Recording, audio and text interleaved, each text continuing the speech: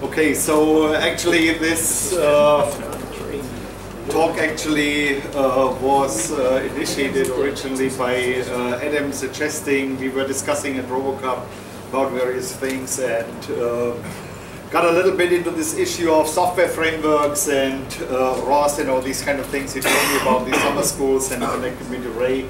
So, um, okay, let's see what I have to say. I would like to start with presenting a little bit, very briefly, uh, a few things that uh, we are actually doing. And I will also talk uh, quite a bit about architecture, which is very uh, relevant, I uh, think, for this uh, topic.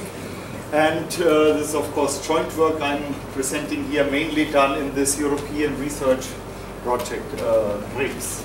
And I apologize to some of the people who have been in one of the BRICS research camps who might have seen some of the slides uh, already. So, okay, this is our uh, RoboCup lab. Um, as you can see, it has a green floor. So we used to play soccer formerly, and now we turned it into uh, a lab where this half uh, side is actually tables where students work, and the other side is a fully equipped uh, apartment with a, a lounge area and racks. We have a fully equipped and functional kitchen.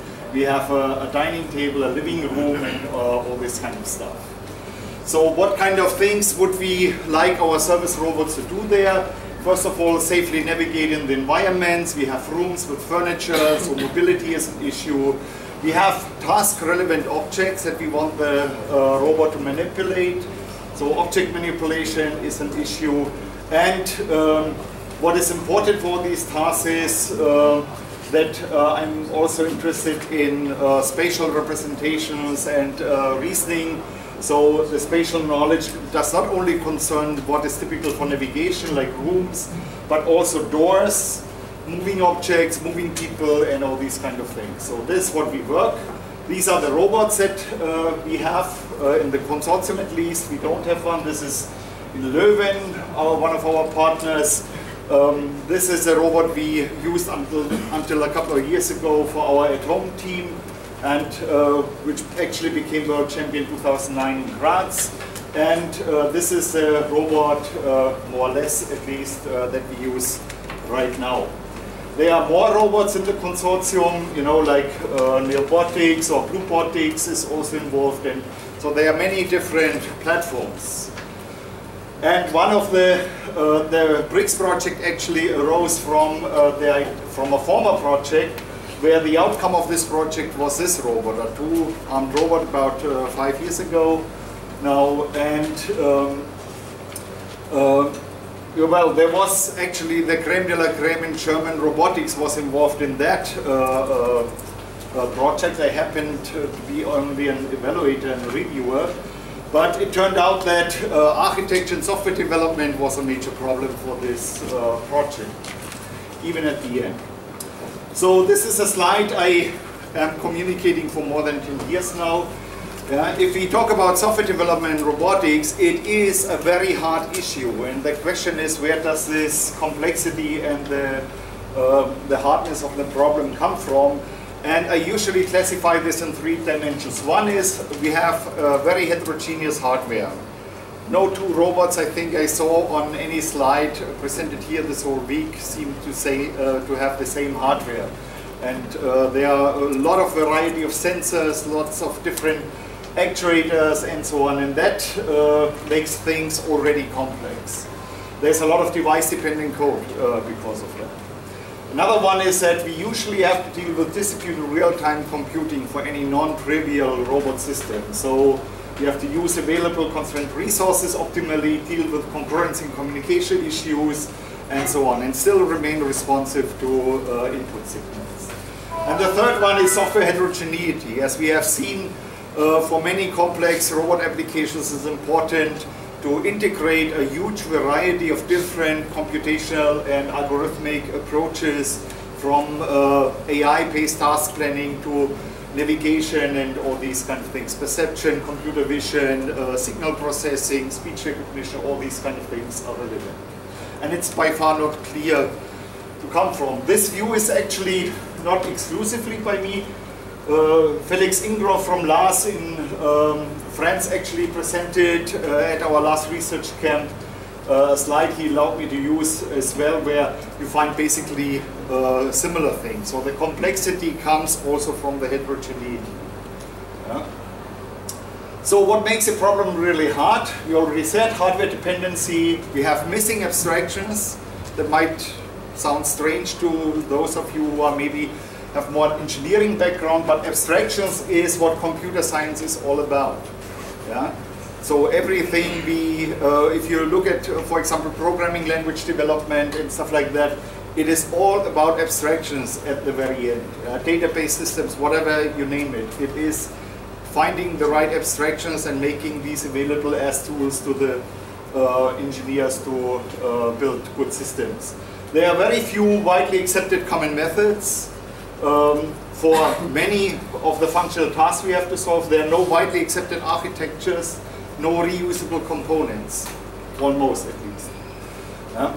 So what do I mean if I talk about a robot architecture? Yeah? In my understanding, for example, something like this could be a robot architecture. This picture actually I presented at uh, at a um, scientific event organized by the Desire project, the one who built this uh, two-arm robot at the very beginning of that project where they were looking into uh, various uh, software frameworks uh, and what they could ease to build. And you can see they had, in this case, foreseen four computers networked by a local area network.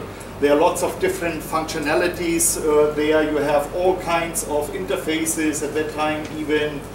Uh, so there's Firewire, there's analog camera interfaces, there's um, various USB, uh, then we have CAN buses and so on. And then you have uh, interesting uh, constraints like, uh, I don't know whether, no, it's not there.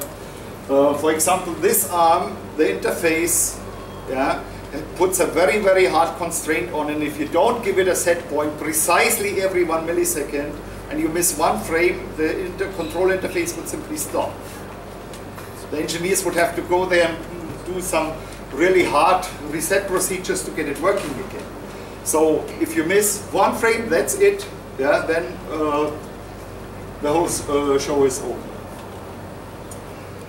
So the, in the context of the project, various workshops were actually held and uh, I gave a presentation there which was later used by other people also for a title of their um, publication, which I titled 1001 Architectures for 1001 Robots That to indicate that every robot description, every paper I have uh, seen and read so far seem to present a different robot architecture.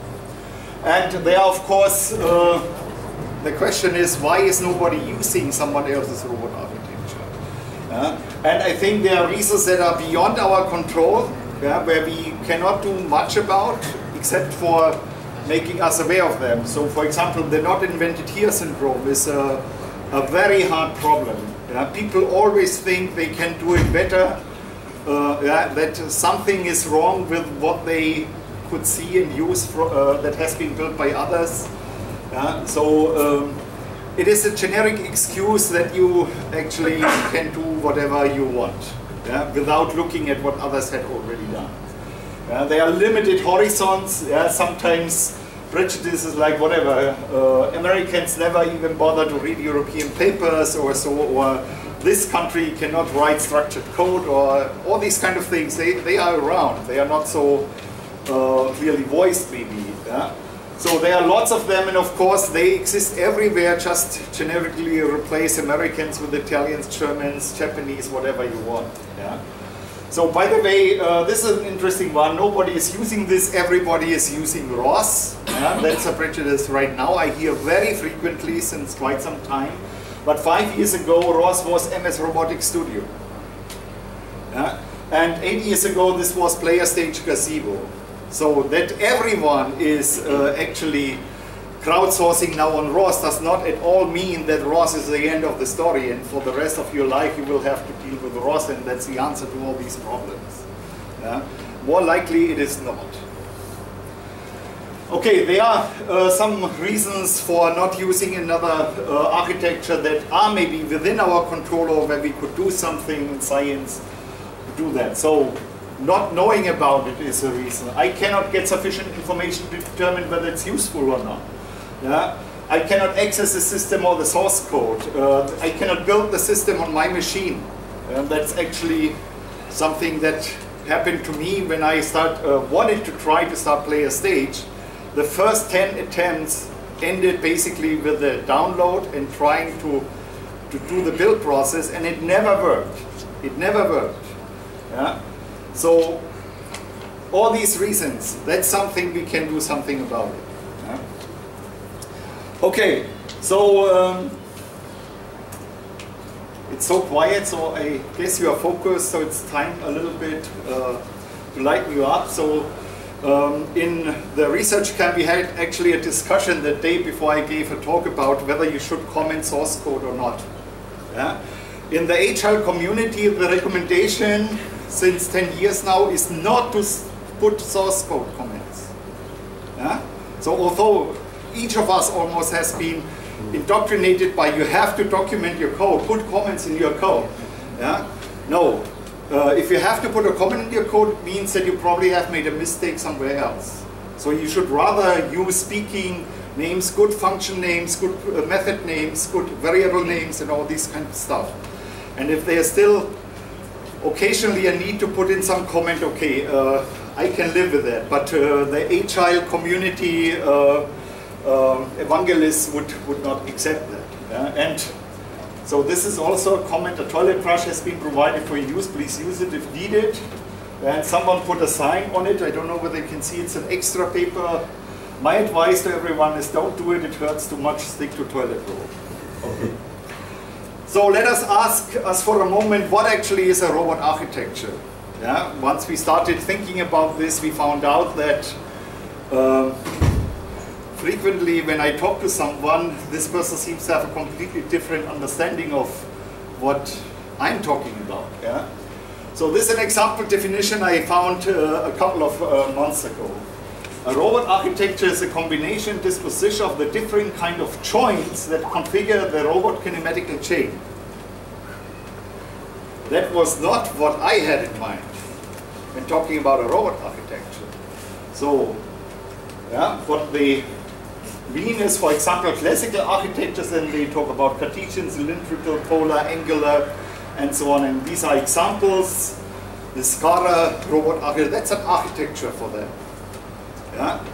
Um, where does this actually come from? It's a tutorial that has been uh, published by Josep uh, and Alicia Casals at, in Barcelona. So two well-known and uh, figures in the robotics community, at least in Europe, and uh, it's not that someone might not have the right training uh, or did not know the terminology was using. But maybe a different community, a different background. The closest I could find in these 72 slides on the robot architecture was actually this. Yeah, similar architectures, quote unquote, I often found, find in, in scientific papers that I have to review and they don't really tell you much. Yeah? So all the magic things are going on here in the in the programming. Programming actually is something that happens to me offline. So this would not be there at runtime. So the external sensors could not even connect to something that is going on runtime. So it kind of feels itchy to me yeah, if I see a picture like that.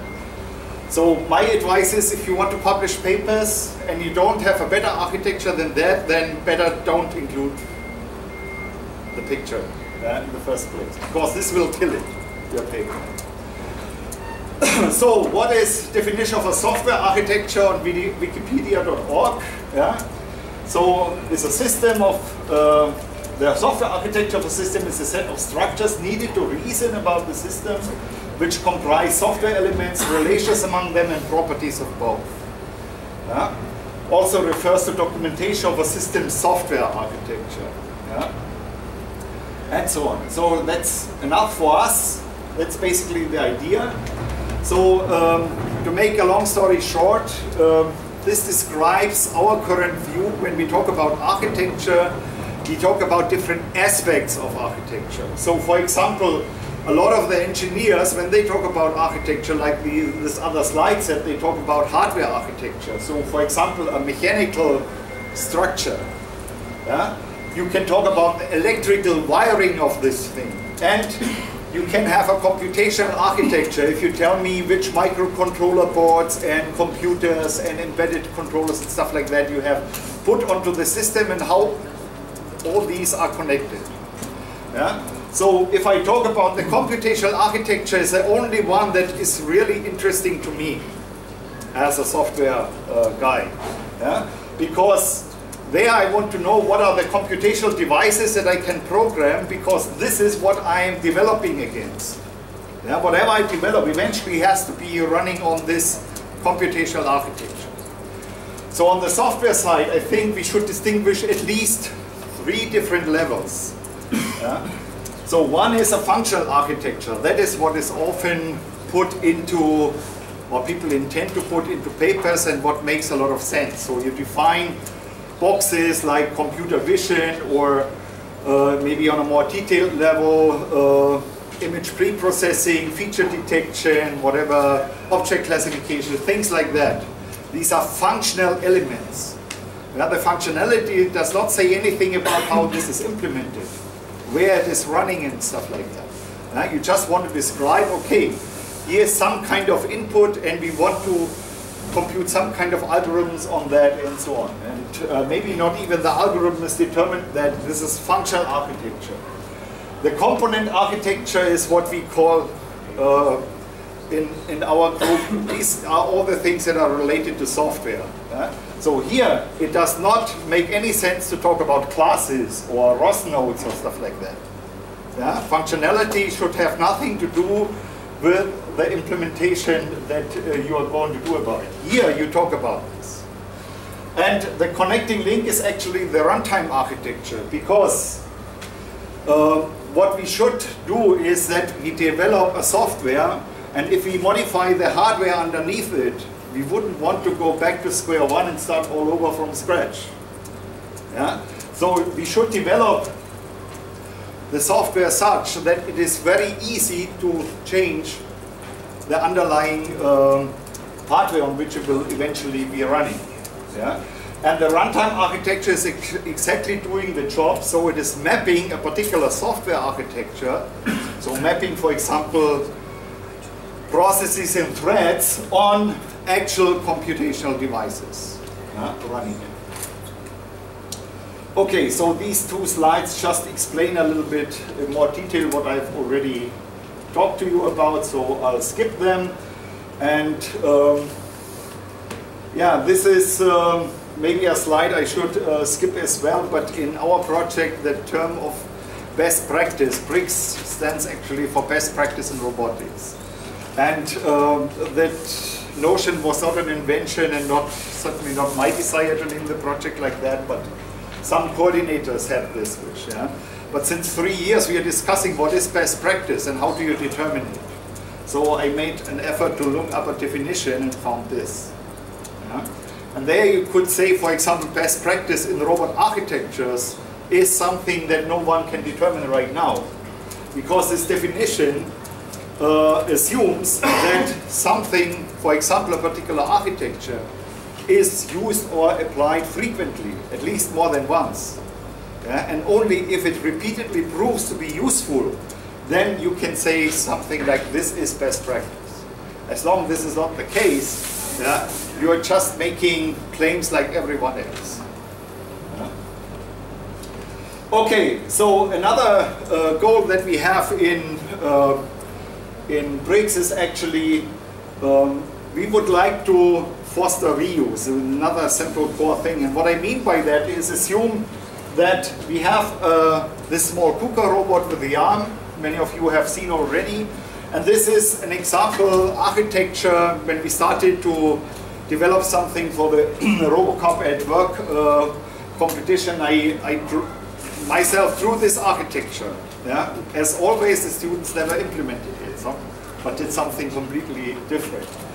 But imagine we have some architecture here, and now the task is to transfer this uh, fetch and carry task from this robot to this robot.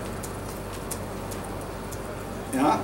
So which parts of the architecture, which parts of the software should we be able to reuse, and which parts are uh, hardware specific, for example. Yeah? Obviously, this is a completely different machine than this one.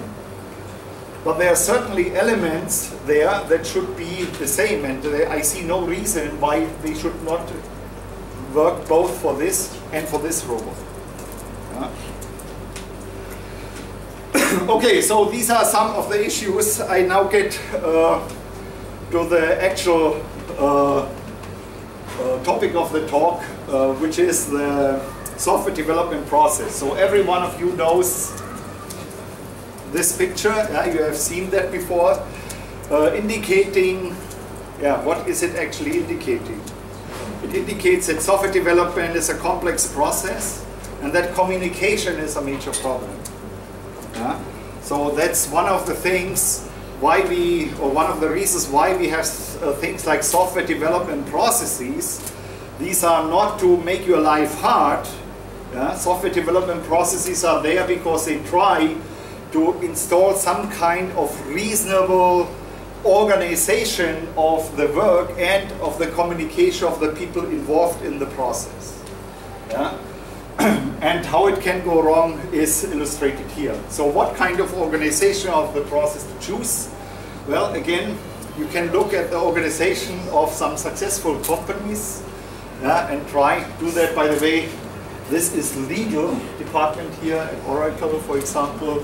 Uh, I also like the guns. Microsoft, I didn't know about this management method.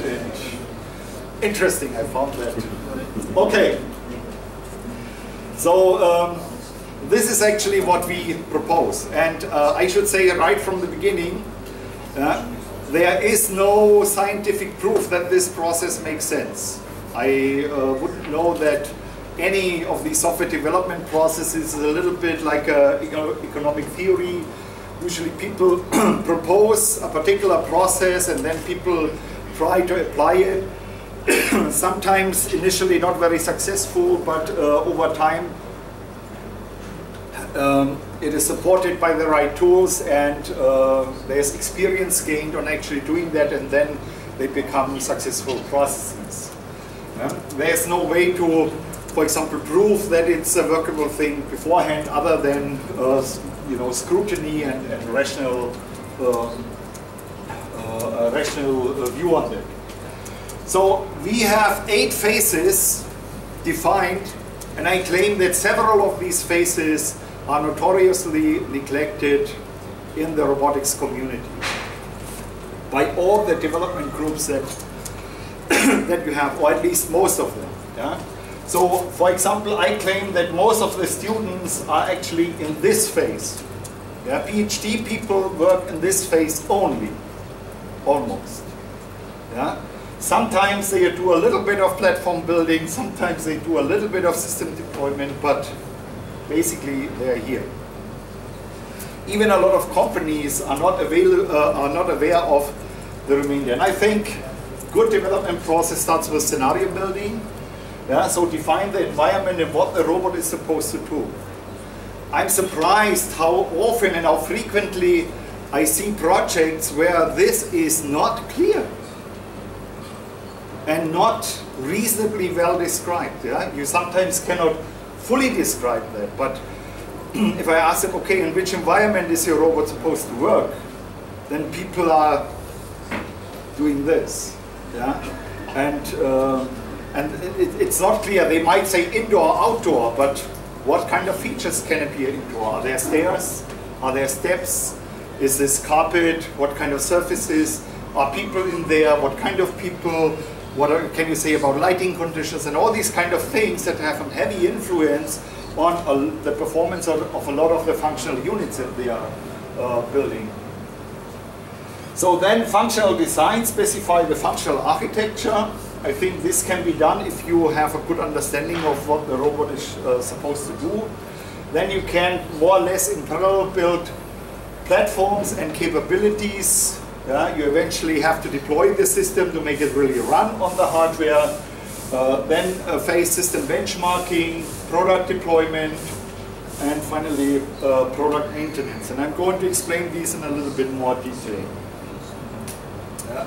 So by the way, these are the steps that are roughly underneath each of these. Yeah? So this is an intimidating figure, but um, we'll get uh, to it.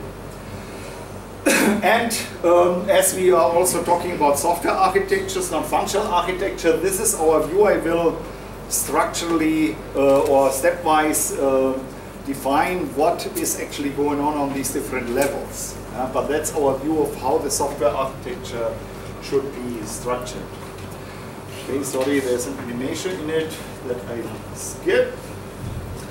Okay, so what are the activities you should do in scenario building? The first is define the scenario, for example, with your target uh, user group yeah, or your customer. And a good way to do this is to use uh, storybooks. yeah? So imagine you have to um, to create a film, maybe an animated film about uh, this potential robot application. Yeah? And everything you need to actually draw such or, or make such a film, either in animation or in reality, uh, should go there. Yeah? Then there's an important step that has raised eyebrows a lot.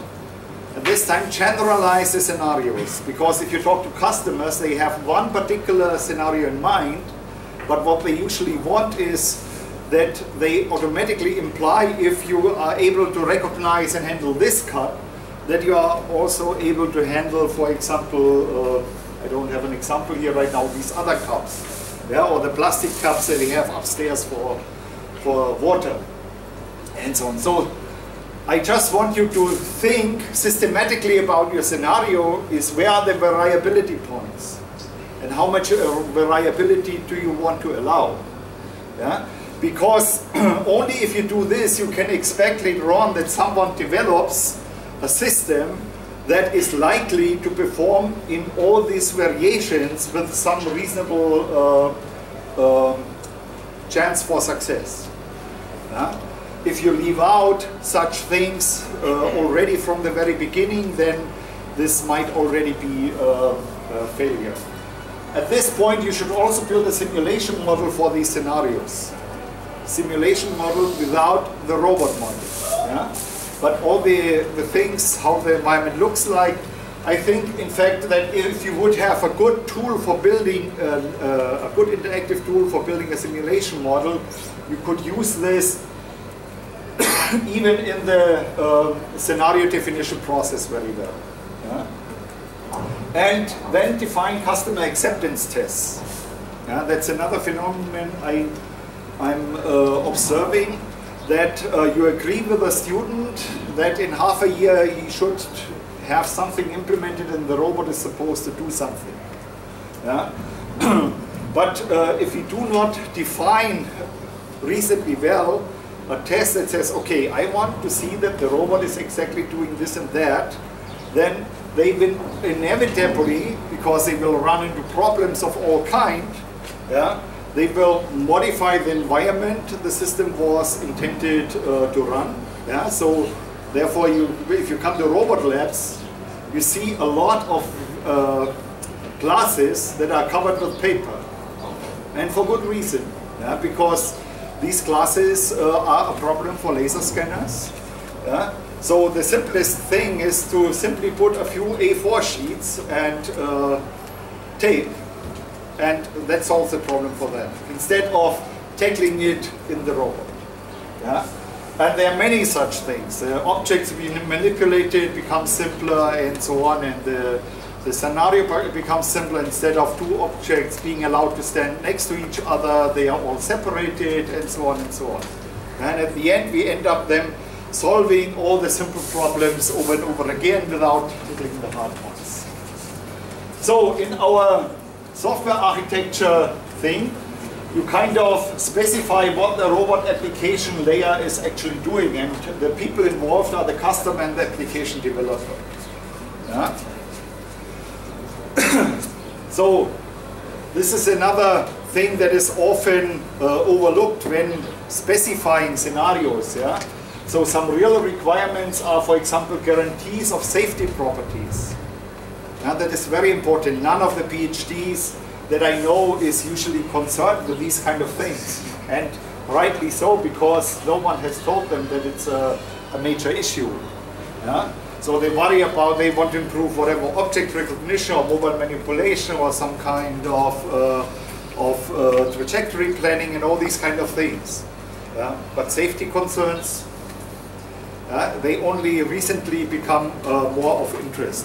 And how important they are, this is an interesting thing I found on the web. It says the beer costs 70 cents, uh, the uh, electric barbecue 57, but the courage that, that these guys have is, uh, you know, cannot be paid for. Uh, so you see the buyer with two shoes here. You can only hope that the other end of the cable is not plugged in.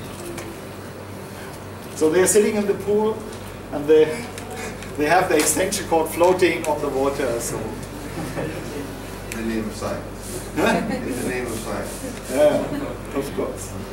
So don't do that, yeah? okay? And this is the thing that you should not do. Also, this is quite uh, tricky here. Okay, functional design uh, would be the, the next step. Um, so once you have uh, some understanding of the scenario, you can derive hardware requirements for that.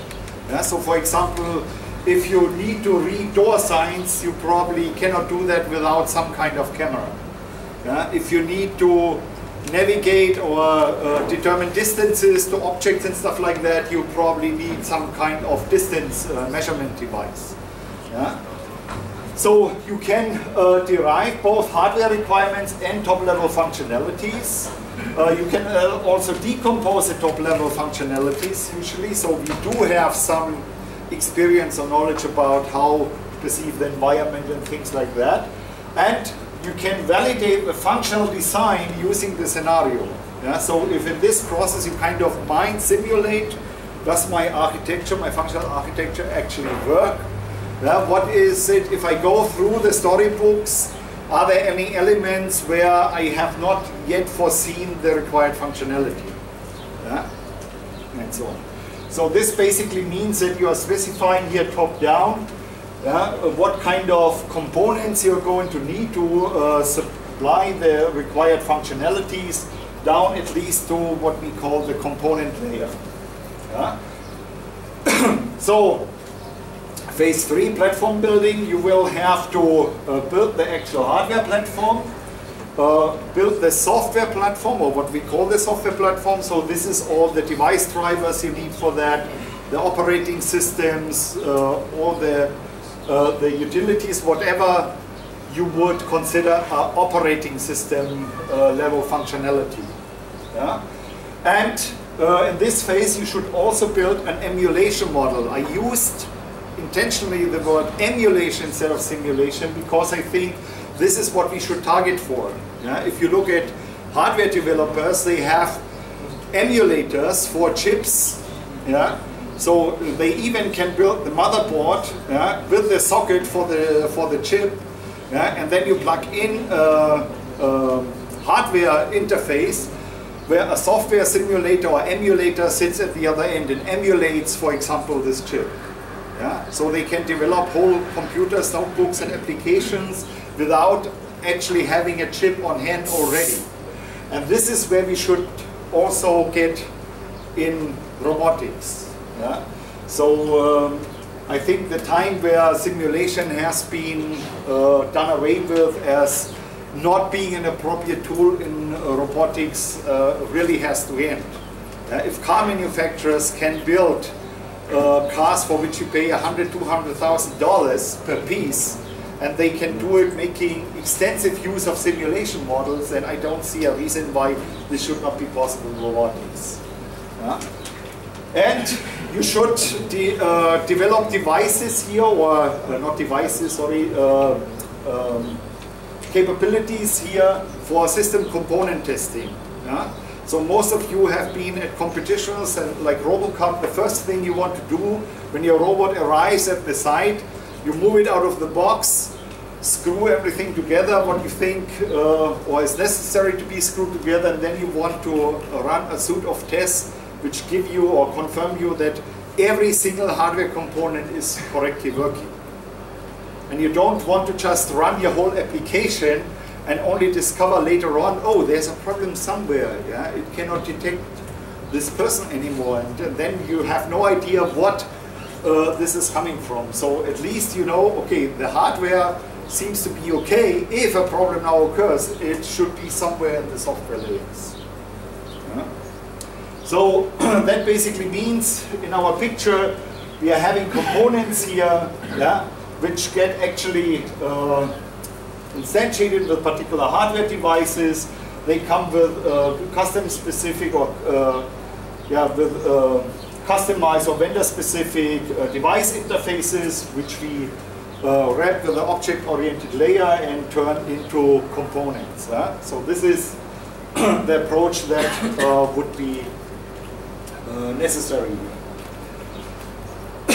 I don't know why I included this, probably to ease you up again a little bit. But I found a very easy uh, repair instruction for anything. Yeah? Also an example for good abstraction. Yeah? And the central question, does it move? If it, uh, it, if it moves, then you ask, should it move? If it does, it's okay. If it does not, use tape. Otherwise, if it's not supposed to move, and but it should, then there's this WD-40. You have this in the US as well, right? I think this is available worldwide. Yeah? And if it doesn't move and it shouldn't move, then it's all right. So very generic. Okay, capability building. That's what you, most of you guys are doing most of your time. Yeah. So you usually have a particular functionality where you want to build software for which gives you this functionality. Yeah. And uh, I don't want to go too much into details about this because first of all, most of you know this much better than I do because you do it on a daily basis. but for example, I put in here a step that is often underestimated and it should be there at least in larger project, which is content generation. So Claude has uh, presented uh, various techniques for using machine learning to do that. Yeah? Many of these machine or most of these machine learning techniques need data, training data for this. Uh, and uh, where do you get this data from? This can be a substantial effort to just generate these data, especially if they need to be labeled and stuff like that. Yeah? and I think uh, time would also be ripe to, uh, that the community is actually generating huge databases yeah, that can be used for training such things. Yeah? I know that there are some reference databases for certain image uh, processing problems and, and, other machine learning problems, but I'm not so sure whether these would really be uh, well uh, designed, for example, to give a manufacturer who wants to um, build a service robot for households uh, the necessary uh, data to train um, a facility or a robot to recognize all kinds of kitchenware and stuff like that. Again, these things, for every skill you build, you should define a test to test it. Okay, so that means basically, um, this is now here, we saw the hardware side, here the software side, we might, uh, for example, take legacy uh, algorithms that provide us with certain functionality, wrap them in an object-oriented uh, manner, then we make components out of them and use them to build the capabilities that uh, we have. That is basically the idea and um, what we want to do here is actually component-based uh, composition. Um, most of the work in BRICS is actually focused around uh, this idea, but there would be another 90-minute talks to discuss it. One thing maybe that uh, is a good hint, there's an interesting paper uh, in 1996 by Radestock and Eisenbach coordination in evolving systems and they introduce a separation of concerns issue which we have taken up and extended a little bit. So I think they have four concerns we have five concerns. So for every component uh, for every component that we develop we try to separate as far as possible the actual computation part. Yeah, what is the algorithm behind that? The connection part, so how can that be composed or how is a, a composed component uh, composed and connected out of smaller ones? Communication issues, uh, configuration issues, and coordination issues. So configuration actually is often um, much more complex than computation. Yeah, so if you look at public interfaces of many of the classes, even in, in, in ROS nodes, there are maybe only three methods that you actually use when the, the node is uh, operational, but there may be maybe 10 or 20 methods just to configure the node. Yeah? So the interface complexity is much higher for someone who needs to actually configure the node than for someone who is just using it. And this can help, especially if the development groups for robotic projects might grow larger, that uh, you separate this so that only someone who is actually responsible for setting up this component and configuring it in the right way, yeah, so uh, they need to know this precisely and for the others, the complexity of using that uh, device, for example, is much uh, simpler. Yeah? If you're just interested in getting uh, laser scans, then basically one method should be enough to, uh, to do it. And uh, there's something coordination. This is actually a problem we have not yet really solved, but um, a lot of interfaces, uh, if you do object-oriented programming, have implicit constraints on in which order you can use the methods. And this is often not documented at all or only implicitly documented. So that you need to initialize a component before actually getting a scan. Yeah?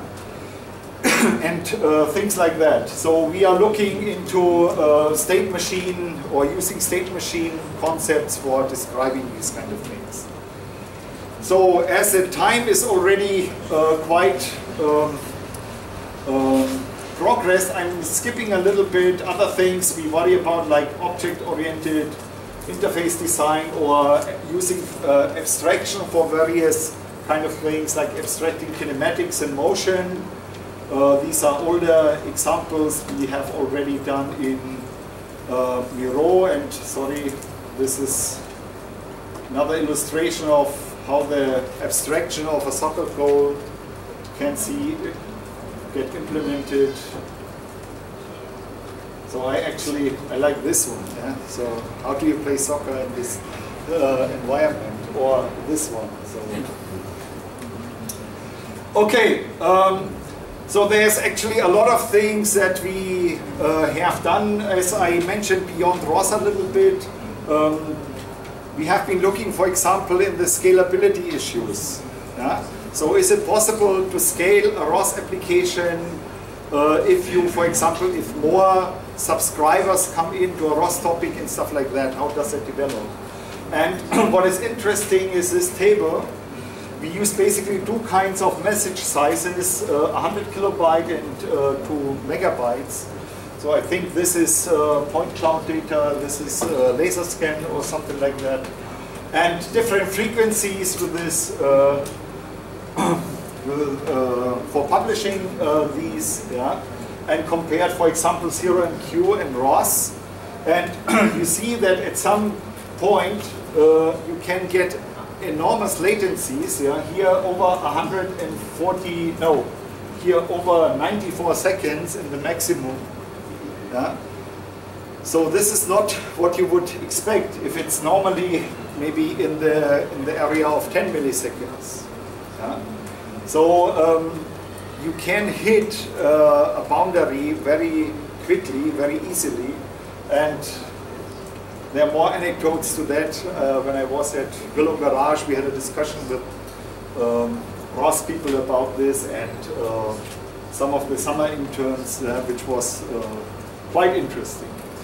Okay, so system deployment. Once we have required all the, or developed all the required uh, functionalities, we need to package them together in a system, yeah? because um, if I see how even at, at competitions, how some of these robots are interfaced and operated. So people type at terminal uh, all kinds of long sequences of commands to get uh, all kinds of processes started and operational.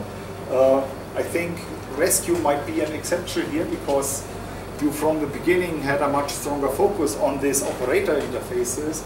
But in other leagues, this is uh, really uh, the case this is not what you can uh, turn into a product.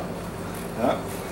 the second thing is that you need to finally determine the runtime architecture. Yeah? So you have the real hardware available, you know what is actually running, and now you can go about and you know, uh, define and also optimize the runtime uh, architecture and launch the system and do system level testing.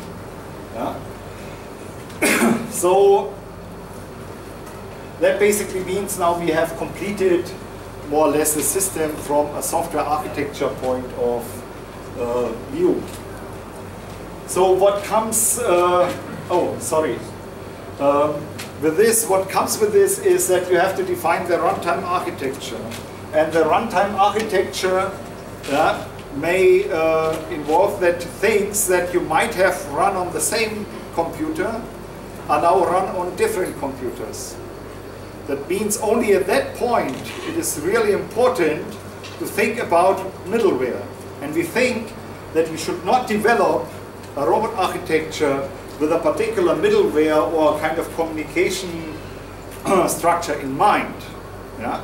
You should develop the software such that every connection between two software components can either be a direct method call or can involve, for example, a caller uh, call or something like that. Yeah? and this is actually what comes in here because it would go between components and the object-oriented layers. And in fact, I believe that uh, most of this stuff can be almost automated yeah, so that you don't need to do a lot of manual programming but generate this code automatically once you have specified the runtime architecture. So um, the close to last slide, uh, I think, um, is uh, this one I want to focus because benchmarking is uh, something that is, uh, you know, debated in the scientific community for, at least in Europe, for 10, 15 years now. But at least in Europe, we haven't really made so much progress on it. Yeah? I mean, uh, I think the understanding of what it takes to do benchmarking is increasing, but uh, the, in the reality out there, we still don't see it, for example, as a regular procedure that someone uh, publishing yet another paper about SLAM is actually using some standard test to compare the results, yeah? at least as far as I know. So I think there are different kinds of benchmarking that we need to do. One is stress test the components and the complete system. Yeah? So this would be tests, let's say, that give you a normal or even a high or a low workload within the limits of the specification. So the system is operating within the limits. Yeah? For safety and security testing, however, you also have to go beyond these limits and check what is happening. Yeah? To give you an idea, the, the KUKA lightweight arm, for example, if you read the specification, it's specified for lifting seven and a half kilograms. Yeah? I know that it's laid out to actually lift 15 kilograms. So you have a margin of 100% of the spec as security provided by the manufacturer. So you're not supposed to regularly lift 10 kilograms, but if you try it once or so, it should nothing should really happen. If you go beyond the 15 kilograms, you might really have to order another lightweight arm. Yeah? So if you have $100,000 in the box, uh, you can of course do that, but um, But this is actually what happens if things break, for example, if a connection breaks. Yeah? I have a PhD student in my group who worked in, a, uh, in the roster project before, and he, for example, performed some tests operating a small robot, pulling randomly uh, some wires out of the system and then seeing what happens. What is the system doing if that happens? yeah? and I think we have to do such uh, things. Then perform reliability and durability uh, tests. So have your system, uh, you know, in higher temperature than normal, 45 degrees outside, uh, sunshine, have it operating for 10 hours continuously to see uh, uh, whether it can take it. stuff like that. Yeah? And how long does it uh, do that before it breaks? Yeah? I don't know who of you has been at Willow Garage, but uh, they, for example, when they build their arms for the PR2, they have a testing uh, room where every arm is installed and they do, I think, something like 10,000 movements with every arm before it even gets mounted onto the system. Yeah? and they do that because they know that there is something like an earlier failure, uh, early failure uh, syndrome. Yeah? Sometimes uh, things simply break even shortly after usage. And they want to avoid that they deliver a lot of robots where that happens because it's expensive to send um, a maintenance engineer there or have the robot shipped back. Yeah?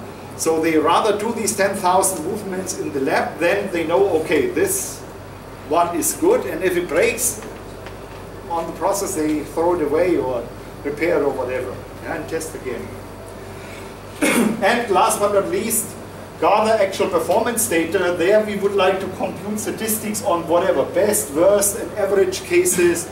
So I want to know as a potential customer, what can this do? Yeah, so uh, to take uh, Adam's example of these uh, building these wood, wooden things around uh, pillars and stuff like that, yeah, you would want to know, okay, how many such uh, 4x4s uh, can the robot carry into this site, let's say over a distance of 20 meters uh, per hour or something like that. Yeah? so then I think uh, for maybe not for rescue robots, but for if we are going to see uh, service uh, robots in the market, in the real market, uh, the development prototype will not what will be produced. Yeah. So uh, there's another phase to make a real marketable product out of that. And that means that you are throwing out everything that is helpful and needed for development. So you don't need all the tools anymore. You shrink the hardware to whatever is possible and stuff like that.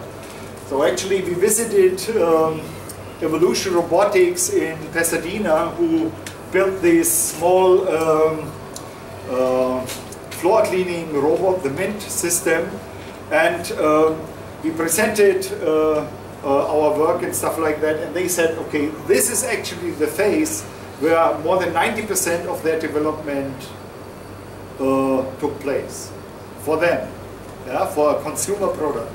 So basically because all the, the functionality, the software architecture, the intelligence, and, and even the, the robot design, they could do basically in three days.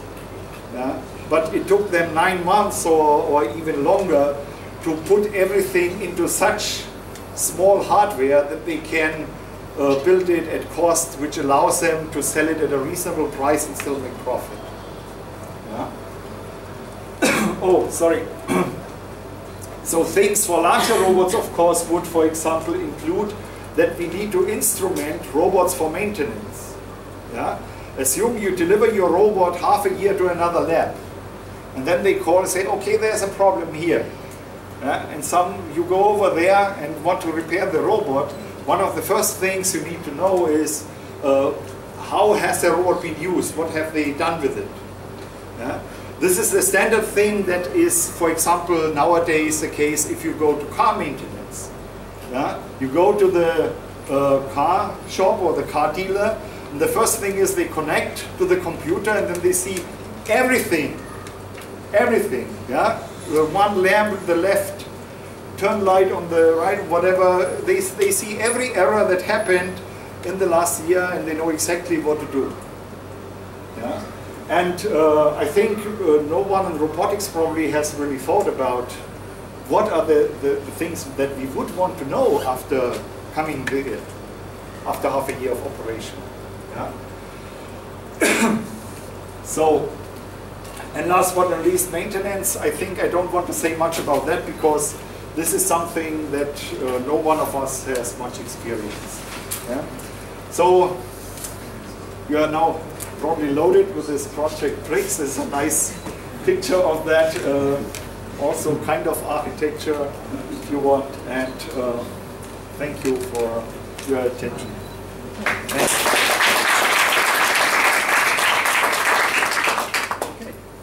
Thank you for giving us uh, such a big picture, making us uh, get out of our little focus areas to see what the um, what else needs to be done to make these things work. Are there any questions?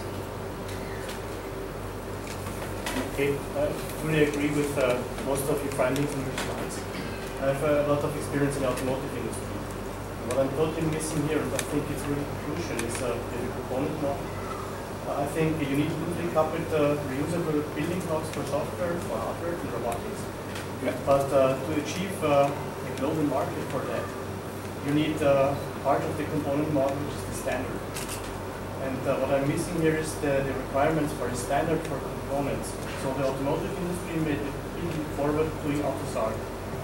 So they, they have a lot of effort put in there to standardize components and how they interact, how they are built. So I, I agree completely with you. I would be a little bit more cautious with the word standard maybe because I'm not so sure whether a standard like an ISO standard or IEEE standard or whatever uh, would actually be needed. There's a lot of debate about that. On one hand side, there's a community that is actively working on standards. Yeah? And I think what is a little bit uh, strange, for me at least, is that uh, large parts of the community in robotics seem to completely neglect what is going on there. Yeah? It's an activity that is highly promoted in Asia mainly, in Korea and Japan, and uh, these, but um, I don't really know many European roboticists that uh, currently seem to worry uh, about that.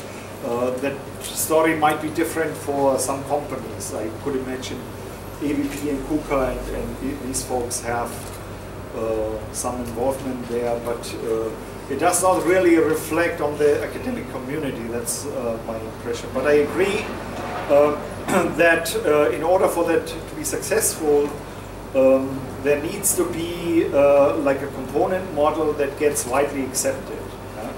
Even a standard might not do it. If the standard gets not accepted, then it's useless. Um, and, and I think there have been examples of such uh, standards uh, before, which uh, have not seen the necessary um, acceptance.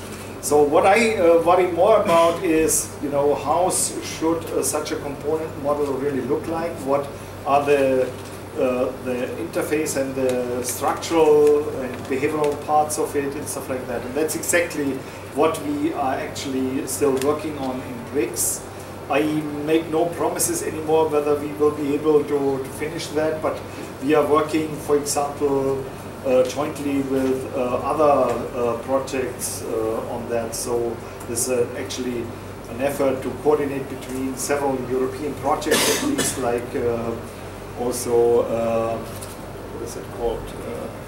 Uh, there's a French project, Proteus, and uh, uh, what is the other project Herman is involved uh, I forgot the name uh, of it. In any case, so there, there is actually some effort going on to coordinate. There's a, a workshop in 1st of October in Paris where we will exactly discuss this topic.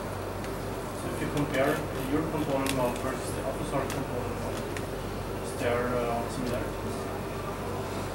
Automotive and robotics should be very close.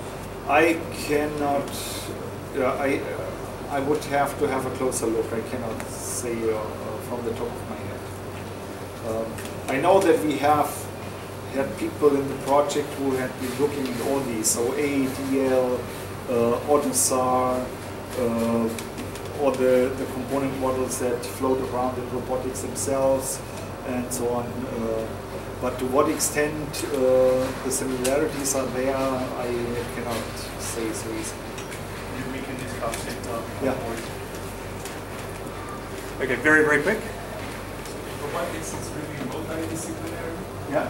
And you want every type of people to be willing to work with robotics. When you look at these software interfaces, they're not user friendly. Very, very complex and very difficult environment that we do. Uh, are you thinking anything in terms of user friendly so that you can allow everybody to do Yes, uh, And it's for me it's a constant fight, even with my own PhD students and my students, to ensure that uh, interfaces will become friendly. Uh, so, I mean, if you look at these 5C, for example, uh, that is an attempt, for example, to make it easier for users.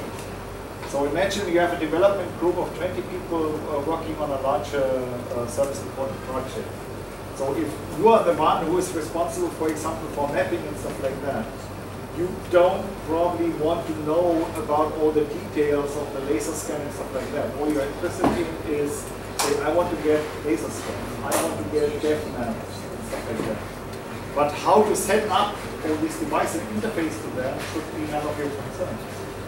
Yeah? So by separating these concerns, we are trying to go a step in that uh, direction. We are also working on guidelines for interface design and, and, and stuff like that.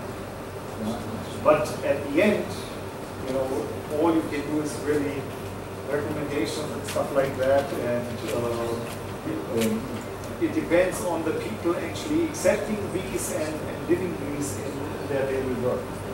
Otherwise, no chance. Yeah? You always hold a great, uh, clear mirror up to us so we can evaluate ourselves as humans and as researchers and our tendencies. Uh, so let me just say one comment, one question. Um, about the interfaces. You mentioned that uh, the rescue league seems to be more focused on their interfaces maybe than other leagues. And I would say that that might be a direct consequence of having less comfortable seating in our arena. Your early pictures of your lab and uh, you know, development area uh, Oh. relative to our rather uncomfortable step fields and you know for debugging Oh, well, uh, force us into that. So Uh, you think I should maybe replace the it's looking it's looking plush. Okay, but my question is, uh, you mentioned that Amer- uh, Americans don't even read European uh, papers, and I would, I would concur. I agree. There's a big ocean between us. What I'm wondering is. Um, what is your, the European visibility of, uh, of popular, I could say, U.S. architectures like 4D RCS? Like four? 4D RCS is uh, hierarchical architecture, actually invented by my recently depassed mentor, Richard Albus. Pretty much adopted by the U.S. military for autonomous vehicles. I mean, almost exclusively. Uh, I have I have seen all these architectures, but I think uh, the, the problem is uh, really who you are talking to. Yeah? So um, if you talk to the PIs of a major European project, you know that is starting and going into this endeavor, you are probably talking to people who have heard about these and maybe even know more or less about these architectures. So then is the next level, uh, then you have PhD students that get employed into the actual work. Depending on how experienced they already are, they have either uh, no idea about it, no background on this. Yeah? So it depends already on how you guide and instruct them, what literature they see, but uh, usually you don't have the time, you know, to set them one year just reading papers to get themselves a good overview of that, and then do a learned decision about we go for this or that. Yeah? So it's a little bit this conflict in which uh, you are that that people, uh, to some extent, it's not very structured. I mean, there's no point where I could address someone to say, okay, this is an authoritative presentation of what the community knows about architecture. Yeah? So uh, I think there's, it would be completely stupid to claim that there's one single architecture that works for every application. It's obviously not the case. But having uh, knowledge about, so, okay, this architecture you know, worked successfully in this and this application. If, if you have something like this, it might be a candidate for a good architecture, but the question is how can you generalize and transfer to a different situation, a different problem. I think um, many architectures are not uh, sufficiently well documented. Um, it is maybe true that uh, uh, there would still be uh, or should still be more attention to looking into these kind of things, but why in detail uh, people are not looking into this, uh, I would have, have a second look myself. I the cannot tell right benchmarking now. comes in. If there's true benchmarking going on, and success Yes. makes people want to look, look deeper at how. Yeah, definitely. I think uh, that's why we, uh, I, I uh, wanted to offer this. Uh, if there's interest here in the community, uh, I could give, uh, or we could just have this over here in the lobby if you want. So I could give you an overview of uh, a new EU project which is going to start in January. We are going to have the negotiations um, next week um, which will focus on RoboCup at home and at work. It also uh, has to promote competitions in Europe, naturally, uh, and um, benchmarking in this area. So we will uh, uh, insert or inject a huge drive to make things more benchmarkable. yeah, And um, uh, I think this is very important. Right now, some of the RoboCup uh, competitions are very good for benchmarking. I think you have set really standards. You are my ideal uh, in that uh, case because uh, in soccer I don't see that yet. And in at home, if I look at home, for example, there are tests which are very objective. You have objective criteria for evaluating performance, the number of people recognized, or the number of objects fetched, or number of goals reached, and stuff like that. That's all accessible objectively and no debate about it. And there are other tests in there which are very uh, subjective evaluation, yeah, like the, the open challenge and, and stuff like that. And uh, the question is whether we can find criteria either to reduce the sub- subjective evaluation methods, eh, which are always biased. Yeah? How do you compare someone who is better in uh, speech communication rather than object manipulation? Yeah, how do you trade this off each other? Everyone has a personal preference, which one might be more important than the other, and there's no real comparison. And uh, I think uh, this will help us a little bit to make progress the, the difficulty, or I think the challenge is that uh, usually if you look into particular functionalities and subsystems, uh, you have uh, either already um, established benchmarks there, yeah, like whatever for object recognition or uh, even speech recognition, stuff like that, they exist, uh, certain benchmarks. but um, what is missing is a connection between evaluating subsystems and evaluating the overall system. Yeah? And what we would like to have, or what RoboCup does is at the end we evaluate the complete system, but we cannot tell really why did this team win over the other team. Was it the better object perception, or the better soccer strategy, or the better navigation, or did they simply have the better hardware, it was faster and more powerful, or so on. yeah? You had preliminaries where each of those tested separately, Yeah. you had an aggregate score, you would see who was best in class in those things. And you could reasonably assume that that's what worked well. Yeah. But I like very much your approach, you know, that uh, what, what I saw in your in talks of others is that you identify certain capabilities that your rescue robots need to have. And then you define tests where you can assess the performance of the robots in performing these. And uh, this is not yet really used, for example, in RoboCup at home. And I think this is where we will start uh, pushing the community uh, to do such tests. So um, when I uh, saw the first uh, news about the Willow Garage PR2 opening the door handle, opening a door, yeah?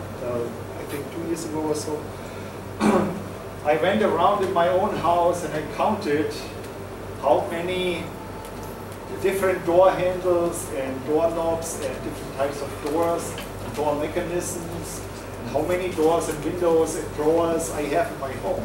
Yeah, I have the statistics uh, somewhere if you're interested. I didn't even know that my home has six doors to the outside, which I was surprised myself. Yeah, but uh, actually does, and it has that's- an, and uh, it has something like 120 different drawers yeah, and uh, 10 or 12 different mechanisms.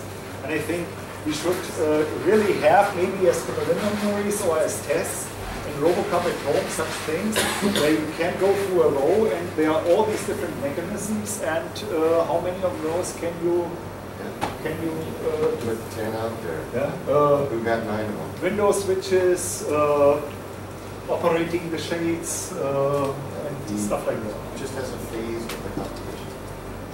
A challenge. It also helps you bring in new teams who are only good at one thing, Yes. but they're very, very good at it. And they got the focus and then disseminate. Sorry. We'll talk again. Yes, so thank you once again, Gerhard. And um, actually, you have some other things that you want to share with people, I guess, at some point later on. Okay, in, so- the lobby over beer. Yeah, one was something. one was this RoCKIn project. If uh, is anyone ris- interested in learning more about this? One. Okay. What is RoCKIn? The project is called RoCKIn. Petros invention. uh, this is this EU project which focuses on at home and at work and the competitions in Europe. Oh, this is what it's called. Yes, Okay. RoCKIn. That's an acronym for it. And the other one is on a Tuesday, Monday, Tuesday, a new uh, kind of association will be founded in Brussels, which is intended to unite the two big European networks in robotics, Europe and Euron, eventually. And if someone wants to know more about this, then he's also happy to ask. So, how many would that be who are interested in Eurobotics? Okay, so both are groups are small enough. So let's meet. Uh, what what would be the right So time? maybe tomorrow, between the end of the practical sessions and dinner, might be a nice, a nice time. Yeah. Um, So I didn't have yet one of these Turkish mockers. I have no idea when they do it, but maybe we can have one at six in the lobby and meet there. Is that okay? Yeah.